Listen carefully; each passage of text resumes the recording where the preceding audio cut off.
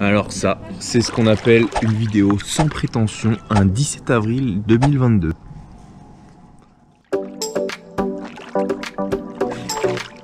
Alors là, c'est la première fois que je vais immerger cette caméra 360 in the water.